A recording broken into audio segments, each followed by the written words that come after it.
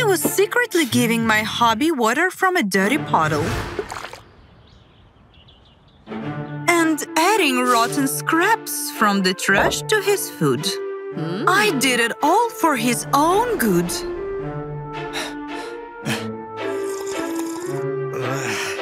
Honey, this water smells like gasoline. It's regular bottled water.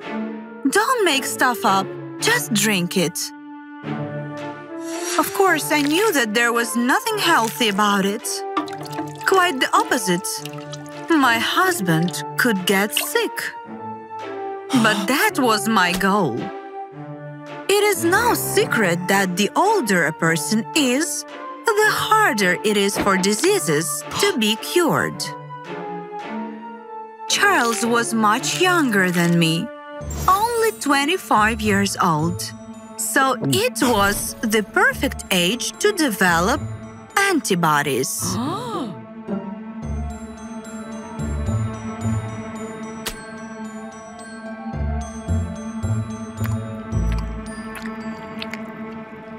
I didn't want him to meet the same fate as my first husband.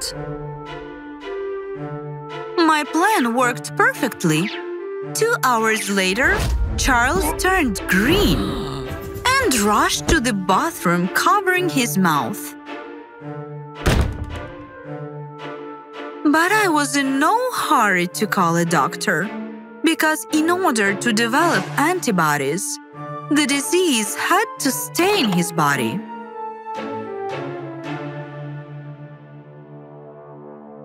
After a while, I heard coming from the bathroom was silence. I was afraid that I had gone too far and rushed to my husband. However, the lock was jammed.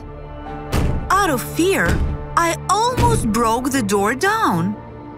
I loved him more than anything in the world.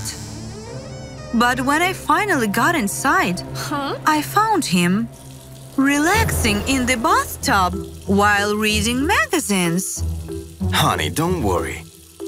I took some of your pills from the cabinet and decided to relax a little. Charles found an absorbent and quickly got rid of the poisoning. That self treatment oh. wasn't a part of my plan. So I immediately went outside to look for a new portion of leftovers. Unfortunately, the trash cans had already been emptied.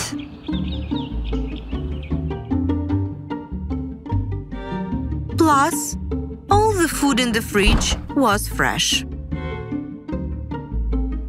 The chill coming from the hmm. freezer gave me another idea.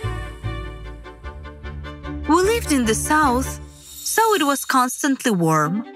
Charles bragged that he had never had a cold before. And that only meant one thing. He had no antibodies against it.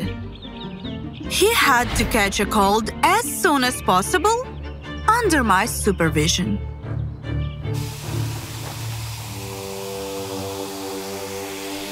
That evening, I cooked a romantic dinner for my husband. He enjoyed the gourmet meals and the view without even realizing that he had taken a huge dose of sleeping pills. Honey, I feel drowsy.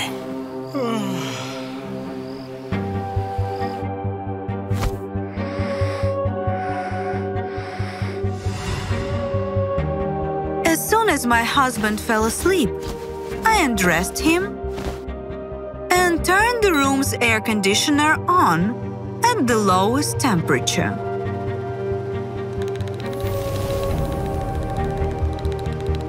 I'm sorry, dear, but this is all for your sake. The next morning, my husband had a fever and a severe cough. I realized that I needed a doctor that time.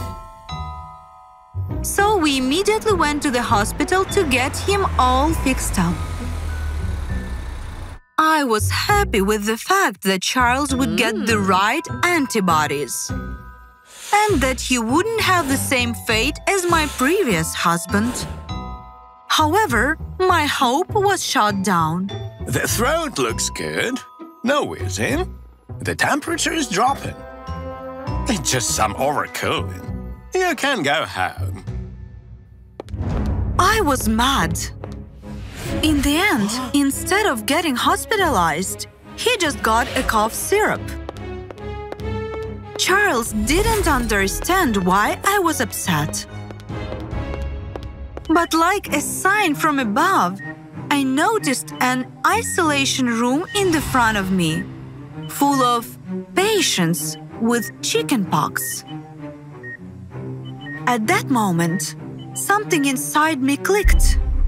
My ex, Mike, was 40 at the time and he wasn't able to cope with that childhood illness. It was my duty as a loving wife to save Charles from getting the same disease in the future. So I quietly opened the door to the isolation room and pushed him in. Lisa, what are you doing? You don't understand. It's a chance in a million. Go! I was almost succeeded, but suddenly someone pulled me. Where are you going? Only medical staff is allowed in there. Charles demanded to leave the hospital. But I refused and asked him to help me steal the nurse's scrubs. I've had enough of your weirdness. I'm going home. At that moment, I should have stopped and walked out with him. Hmm. But instead, I found someone else's scrubs and, pretending to be a nurse, entered the isolation room. I took turns playing with the sick children and even kissed one of the boys in order to get infected with chickenpox before going home to my husband. When I got there, Charles was pouting and wanted to have a serious talk. You have to understand something. I'm not your ex husband. I have a strong immune system. I won't die and leave you all alone.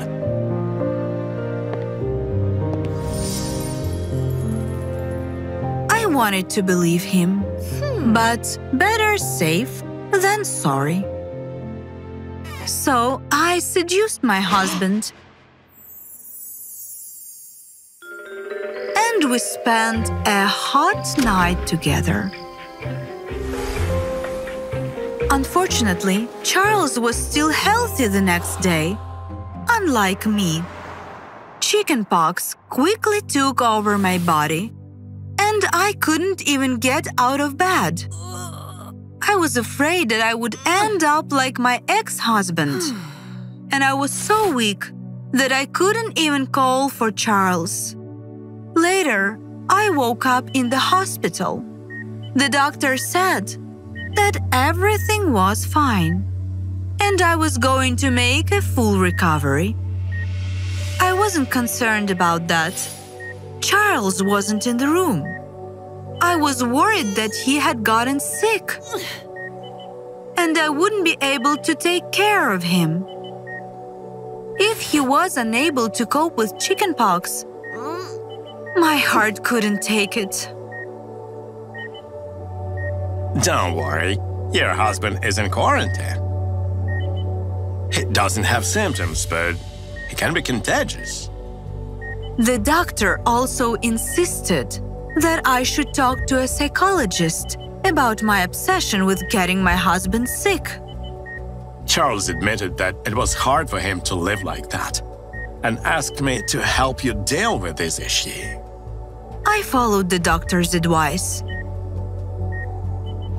Because I realized that it's not one's immune system that makes them healthy, but the care and attention of their soulmate. I gave my dad some sleeping pills and scattered beer cans all over the floor right before my mom came home from a business trip. Is that how you welcome me, Jessica? Get out of the room. She woke up my dad and harshly scolded him.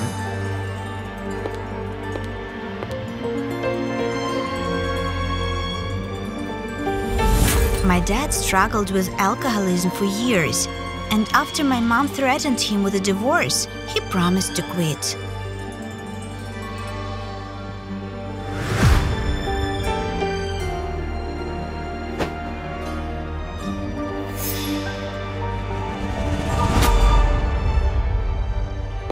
Goodbye, loser. I didn't feel sorry for him. He was a burden to our family. When my parents left, I was finally able to host a party at home. I invited cool guys from school, with handsome Brad being my special guest.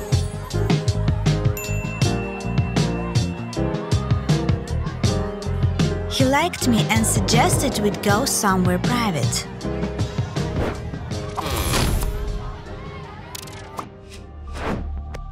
Brad was kissing me in the bedroom and clearly wasn't going to stop. So I told I couldn't do it right away. We weren't even dating. I won't find out if we're right for each other until you agree. My crush decided to go dance with other girls, and I didn't know what to do. When my mom came back, I tried talking to her about it, but she had no time for me as she was cleaning the house while trying to solve some work issues at the same time. I got used to going shopping with her once a week, but that was over. I didn't even have anything to wear for my birthday. There's a pile of dirty clothes in the bathroom. Go wash them. Aside from laundry, my mom left me a big to do list and went out without even wishing me a happy birthday. She had never missed anyone's birthday before, since a list of the birthdays that month was hanging in the kitchen. My dad made it. I spent my birthday like some kind of maid, moving the lawn, dusting, doing the laundry. It was not how I imagined it would be.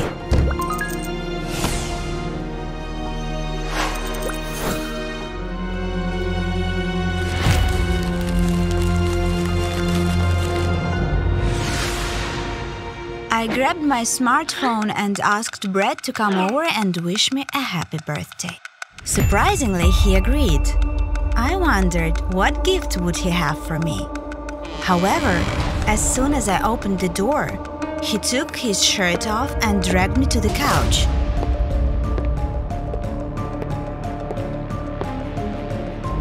I firmly said that I wasn't ready yet, but that didn't stop him.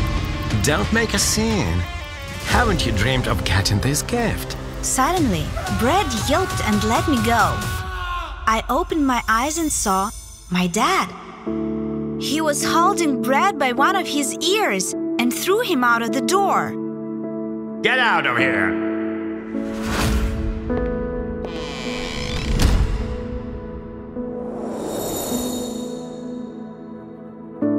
As it turned out, my dad came by to wish me a happy birthday. He even baked a cake and pulled out a gift card from his wallet. I've earned some money. Go to the mall and get yourself something cool. I was shocked. He remained kind even though he knew I set him up. He told me he managed to get a job after realizing he wasn't proud of being a stay at home dad. Of course, you don't remember, but I used to work on Wall Street. Dad told me that at the end of each working day, he would go to a bar. One day, my mom got sick and tired of it. That's when he realized he could end up losing us and quit, while mom decided to pursue a career. I became a stay at home dad so that he could have clean clothes and fresh breakfasts. My dad said that I could count on him if I ever had problems with Brad. Then he got up and left. I was still in shock, so I didn't notice it right away. When I ran out into the yard, I saw him with my mother. She was smelling him, thinking he was drunk. Hmm, sober. It's not like you. I worked up the courage and confessed everything to my mother that dad didn't drink and how I was the one who set him up. What? Then you're not getting your gift. But dad came up with a better idea. He said that we needed to forgive each other's mistakes. It's my fault too. I didn't realize that you had grown up. And I worked too hard and forgot about your birthday. That evening, I realized how much I needed my parents and wished for them to stay together forever.